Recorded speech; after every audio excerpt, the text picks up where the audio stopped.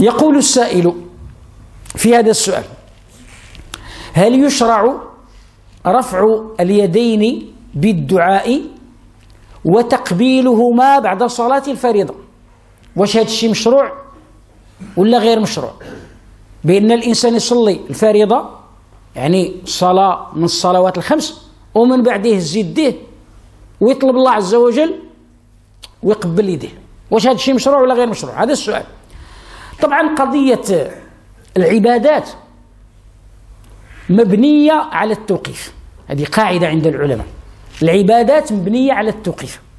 ومع ومعنى كونها مبنية على التوقيف أي أنها تنبني على إفعل أو لا تفعل. إذا قال لنا صاحب الشريعة افعلوا كذا أو فعل شيئا يتعبد به رباه فإننا نقتدي به. وإن لم يفعل ذلك ولم يأمر به فلا يجوز لنا أن نفعله. هذه القاعدة أن الأمر مبني على توقيف. طيب الرسول صلى الله عليه وسلم ما كان يفعل هذا ولم ينقل في سنته أبدا. والصحابة رضي الله عنهم كانوا أحرص الناس على نقل تفاصيل صفة صلاته صلى الله عليه وسلم. الصحابة رضي الله عنهم كانوا رد البال الرسول صلى الله عليه وسلم ينقلون جميع تفاصيله.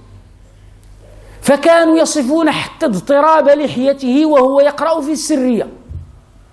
دابا السرية اللي ما ما كيسمعش القراءة ومع ذلك كانوا يرون اضطراب لحيته وكانت لحيته عريضة كيشوفوه وقف واللحية ديالو كتحرك فعلموا أنه كان يحرك شفتيه وهو يقرأ الفاتحة والسورة في الصلاة السرية في الظهر والعصر.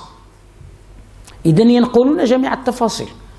كان إذا سجد نظروا إلى بياض بياض إبطه وهو ساجد لأنه كان يجافي كان كيفرق يديه مزيان فينظرون إلى بياض إبطه صلى الله عليه وسلم. إذا كينقلوا جميع التفاصيل. فهل يمكن بربكم أن يخفى عليهم مثل هذا الأمر؟ وهو يداوم عليه في كل صلاة؟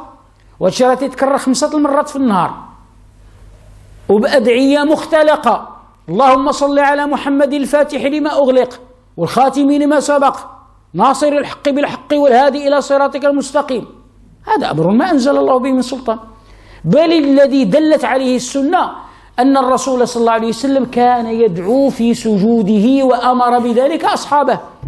الصحابة سمعوا الرسول صلى الله عليه وسلم وهو يدعو في سجوده ونقلوا أدعيته.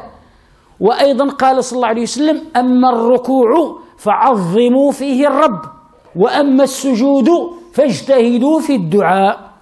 فقمن أن يستجاب لكم أي جدير وحقيق أن يستجاب لكم. إذا بغيتوا تجتهدوا في الدعاء موضعه السجود. كاين المواضع ديال الدعاء التي يرجى فيها الاستجابة. إذا كيفاش أنت تخلي صلب الصلاة والمكان الذي أرشدك النبي صلى الله عليه وسلم إلى الدعاء فيه؟ ثم إذا خرجت منها دعوت ربك عز وجل. وقد مثل لذلك بعض العلماء برجل دخل قصرا لملك من ملوك الدنيا. دخل عنده القصر وبدا يتكلم معاه ساعة وتيهضر معاه غير في شي أمور عادية. ولما خرج ووارته أسوار القصر المنيعة العالية الشاهقة جعل يدعو الملك. يا سيدي أعطني كذا يا سيدي أعطني كذا. حتى أخرج من القصر. طيب أنت كنت في صلب الصلاة والرسول صلى الله عليه وسلم يقول لك وأما السجود فاجتهدوا في الدعاء فتترك ذلك أو تقصر فيه أو لا تبلغ جهدك ونهايتك فيه فإذا خرجت من الصلاة وفرغت منها اشتغلت بالدعاء. إذا شنو هي السنة؟ السنة هي الذكر الذي نقل عن النبي صلى الله عليه وسلم في أدبار الصلوات هو الذكر. كان يقول أستغفر الله أستغفر الله أستغفر الله. اللهم أنت السلام ومنك السلام. تباركت يا ذا الجلال والإكرام. وكان يقول سبحان الله الحمد لله الله أكبر. ثلاثا وثلاثين مرة ومجموع ذلك تسع وتسعون وتمام المئة. لا إله إلا الله وحده لا شريك له له الملك وله الحمد وهو على كل شيء قدير. إذن أذكار منقولة. إذن هذا المكان هذا ماشي خالي. ماشي هو يعني آه، غفل. ما فيه والو خصنا نحن باش نعمروه. لا فيه فيه العبادة ديالو اللي هي الذكر. أذكار شرعها النبي صلى الله عليه وسلم دبر الصلاة. أما الدعاء فيكون في صلب الصلاة.